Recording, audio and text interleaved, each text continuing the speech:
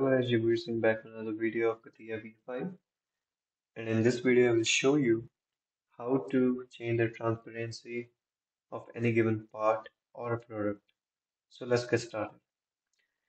So right in front of you, you have a part named part 6 that I've already designed initially in one of the previous videos. So I'm going to show you how you can change or manipulate the transparency because that can be very useful for any user in terms of when he or she is working with assemblies or also if someone wants to check the interference of two different parts or mates.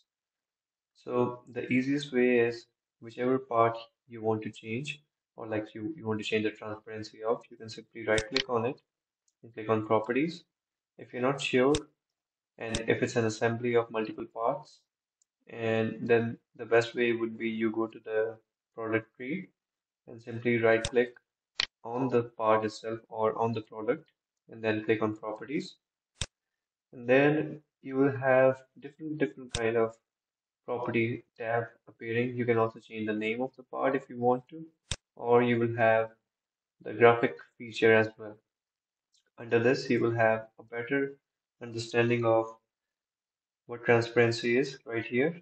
You can simply change the level of transparency you want. You can apply it and you can see that it actually changed. If you wanted to make it more transparent, you can just increase the level and see apply and you'll have the understanding of how it is going to look like. So let's say this is how it's going to look like after having a high transparency. If you don't want to have it, if you just want to make it look exactly the same it was initially, you can just make it zero and adjust accordingly. Whichever way you, you, you like it, you can just simply apply and click OK. And then you will have the transparency adjusted accordingly. So that's pretty much it for this particular video. Thank you so much for watching. And don't forget to subscribe my channel. Take it easy. Bye.